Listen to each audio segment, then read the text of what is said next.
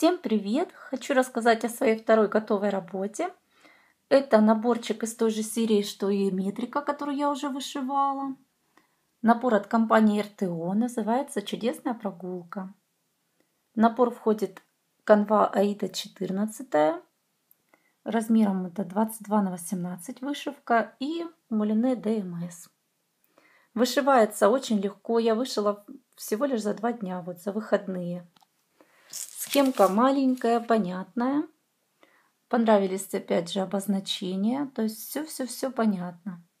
Вообще для начинающих, мне кажется, вот такие наборчики самое то, что нужно, потому что тут есть и бленды, то есть смешение цветов, и полукрестики, и есть э, бэкстич, он и в одну нитку идет, и в две ниточки, и даже есть французские узелки, пара штучек для глазок вот на зайчике. Вот. А вот две нитки. Бэкстич для волосиков принцесски. Вот. А почему я стала вышивать этот набор? Ну, тут две причины. Первая это то, что сестричка, которая подарила метрику для ее доченьки, вообще она в восторге была от вышивки и попросила меня вышить продолжение.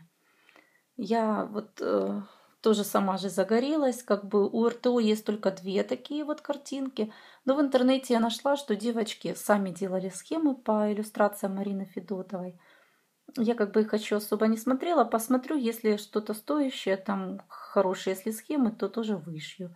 И пока вот не оформляла, думаю, если будет несколько одинаковых картинок, ну, в одном, в одном стиле, думаю, как их оформить, может, какие-то надписи интересные сделать. И вторая причина это то, что начала вообще вышивать вот эту картину. Начала так с азартом, думала даже ее успеть завершить до Рождества. Она называется «С Рождеством». Это набор от Золотого Руна.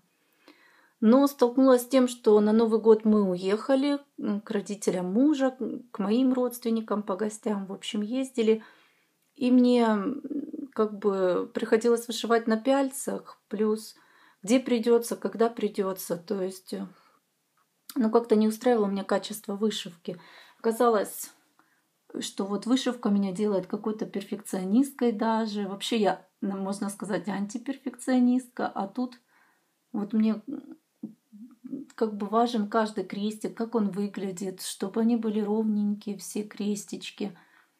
Ну вот чтобы мне сама работа, сам процесс доставлял удовольствие. Иначе я раздражалась, потому что мне приходилось перешивать, работа выглядела неаккуратно.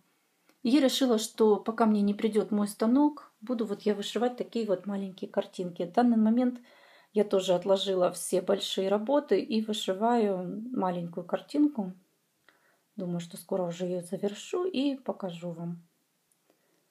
Вот. Ну, я думаю, что это все. Встретимся в других видео. Всем спасибо за то, что подписываетесь на мой канал, оставляете комментарии. Мне это очень важно, это меня подстегивает, как-то вдохновляет. Все, всем счастливо, до новых встреч!